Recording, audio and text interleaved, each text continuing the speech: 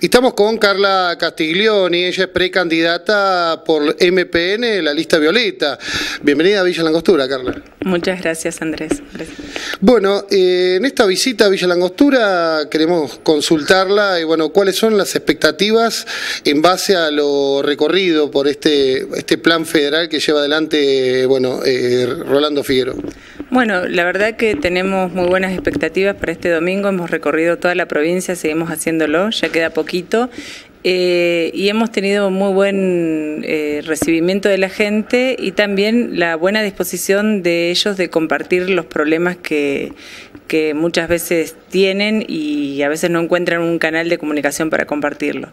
Esta, esta caravana federal que hemos emprendido nos permitió el, el mano a mano con los vecinos y conocer las realidades de cada uno de los lugares de nuestra provincia, que son diversas y requieren diversas atenciones. ¿Cuáles son los principales reclamos que, se pueden observar en esta caravana, recorriendo tantas localidades, viendo tantas realidades? ¿Qué, qué, cuál es el reclamo o qué, cuál es la falta que se hace como común entre todos?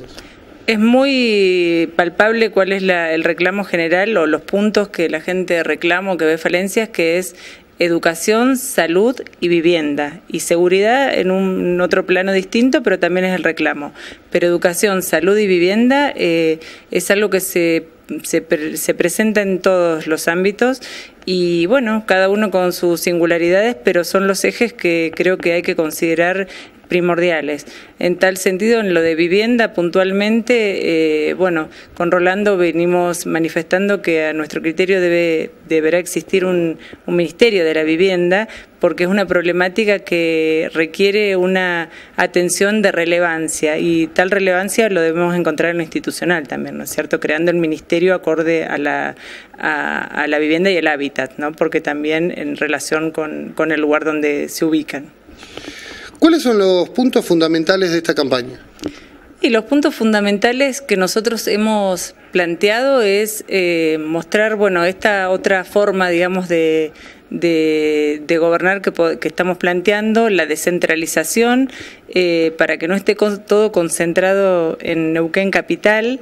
Eh, la caravana federal no es eh, casualidad, digamos, tiene un, un efecto que es la relevancia que le damos al interior de la provincia y esa relevancia la vemos eh, necesaria para plasmarla en acciones efectivas de gobierno. Eh, hemos notado que existe mucha emigración de las zonas del interior a la capital porque necesitan servicios eh, que tienen que ver con la educación, con la salud, que no están en sus lugares de origen y bueno, muchas veces los chicos, por ejemplo, cuando tienen que acceder a un estudio terciario, tienen que irse y creemos que todas estas cuestiones pueden solucionarse con acciones de gobierno concreta que lleven a una descentralización efectiva de estos servicios. Eh, Carla, si llega a vicegobernadora, ¿cuáles serían las primeras medidas a tomar? Bueno, creo que lo primero que haría... Eh, primero no olvidarme de todos estos reclamos que hemos hecho, que hemos venido escuchando en, esta caravana federal. ¿no? Lo primero eh, que debo considerar es eh, esos reclamos y hacer la agenda acorde a esos reclamos. Em, con Rolo hablamos siempre de eh, hacer reuniones de gabinete en distintos lugares de la provincia y bueno, plasmar todas estas acciones que venimos eh, hablando desde eh, las charlas con las personas y desde nuestro discurso descentralizador y de federalismo y de inclusión en esas acciones de gobierno. Habrá que, seguramente, habrá cuestiones de, organización propias de la función, pero en cuanto a los ejes temáticos, creo que lo que particularmente priorizaré será educación, salud y vivienda, que es lo que veo que o sea, nosotros en realidad cuando somos elegidos para cumplir una función no somos más que el eh, nos pone ahí la gente para que tratemos de hacer lo que ellos quieren eh, que hagan sus representantes. Así que me parece que lo primero que hay que hacer es tomar esas solicitudes de la gente y, plasmarlas en, acciones. Carla, eh, en cuanto a esta descentralización y bueno, el plan de gobierno, ¿no? ¿La provincia está preparada económicamente para llevar adelante estos ejes que plantean al inicio?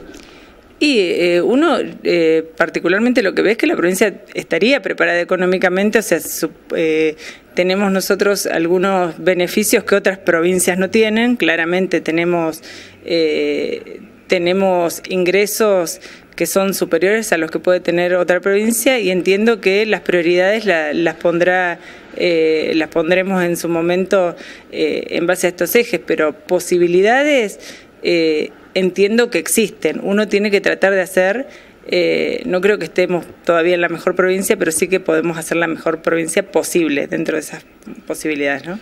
En este momento, la provincia, ¿cuáles son los puntos más críticos? Digamos, ¿Cuáles son las problemáticas ahora? Yo las problemáticas son las que tomo de la gente, esto que te digo, no es, no es por ser repetitiva, pero me parece que eso son, ese es el reflejo. Eh, veo una falencia en el tema educativo eh, que tiene que ver con cuestiones que muchas veces eh, quitan el eje de lo que es la cuestión curricular, la cuestión nosotros estamos planteando de, implementar la jornada extendida, bueno, todas cuestiones pero que requieren que, se aborden en su totalidad lo que hace la problemática de educación. Eh, no puede ser que un, por ejemplo, un docente de acá del interior cuando tiene una licencia médica se tenga que ir a hacer la junta médica en Neuquén Capital y que le den turno de acá siete meses, todo ese lapso está, digamos, con, una licencia, está cubriendo otra persona, está, o sea, es toda una cadena de, cuestiones que, que, repercuten negativamente en la cuestión educativa. Así que eso lo veo, la educación y salud, yo veo un tema salud, veo que hay en esta recorrida hay muchos, hay eh, infraestructura, pero veo que eh, falta el, digamos, la, cuestión humana, el material humano, digamos. Muchas veces tenemos buenos edificios, incluso a veces bien equipados, pero eh, las personas del interior tienen que ir a capital a un, a un especialista en determinada en determinada especialidad médica. Entonces me parece que hay que apuntalar ahí ese descentralismo, perdón, esa descentralización va a ir de la mano de estas medidas que, que digamos, eh, lleven a que los médicos puedan trasladarse a atender y no que la gente esté haciendo gastos de su propio bolsillo para ir kilómetros a una consulta médica. Carla, eh, bueno, en su visita a Villa Langostura, cuéntenos un poquito qué, qué, va a estar recorriendo y, bueno, es lo que se va a visitar. Bueno, primero ya estoy encantada como está divino todo, las retamas en flor y está todo hermoso el paisaje. Vamos a ir a, a reunirnos con la Cámara de Comercio. Después vamos a ir a la sede que tenemos acá, la lista violeta, a charlar con los compañeros que están en la sede y si bueno, hay algún vecino también hablaremos y la verdad que particularmente a mí me, me encanta el contacto con la gente mano a mano, así que si estamos caminando por ahí y vemos algún vecino seguramente entablaremos alguna charla también. Así que bueno, este 25 ya queda poquito para las elecciones, es este domingo, 25 de noviembre. Eh, invitamos a todos, afiliados e independientes, quiero resaltar este tema porque por ahí eh, los vecinos independientes, que son los que no están afiliados a ningún partido, no están muy acostumbrados a participar de una interna, pero en este caso les pedimos especialmente participación porque es eh, una interna muy importante donde el voto de cada persona y cada independiente es muy importante.